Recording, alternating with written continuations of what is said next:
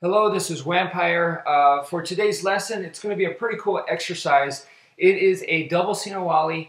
Uh, it is a four count drill, and the name, I believe, is called the X Sinawali. This was sent to me a long time ago. This person asked me to, to demonstrate it, to explain it on video, and uh, I'm sorry it's taking me a very, very long time. Hopefully, better late than never, so I, I apologize right there. So let's actually go on to the technique, okay?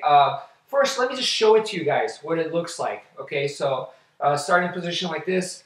One, two, three, four. One, two, three, four. One, two, three, four. One, two, three, four. So it's a pretty cool uh, combo right there. And uh, let me break it down. Okay, so the way it is, is this is your starting position right here. Um, open, open stance or uh, parallel sticks position. So from here, you're going to do a temple shot with the right hand, and it's going to park to the other side of your head. Okay, so let's do that again.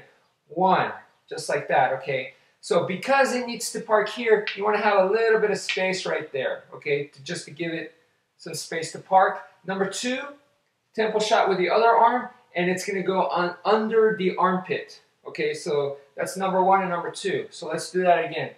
Number one, temple shot to the neck. Number two, temple shot, armpit. Okay. Number three goes back to the right hand and it is a low shot. Low shot and then park on the shoulder right here. And this is a very familiar stance for us if you've been doing the Heaven Six, okay? And then number four, the last technique, is another low shot and then it parks to the other shoulder, therefore taking us back to the beginning, all right? So that completes the, the cycle there and you can keep going and going and going. So it's just four techniques. Let's do it again, okay? Temple, neck, temple, armpit, low shot, shoulder, low shot, shoulder. Okay, one, two, three, and four. One, two, three, and four. One, two, three, and four.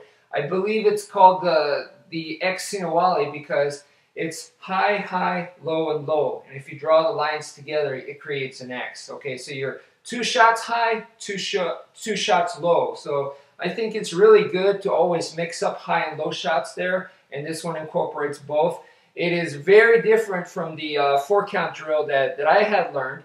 So, uh, you know, it, it's nice to add to the mix. Okay, so hopefully you guys enjoy it. Thank you for watching and take care.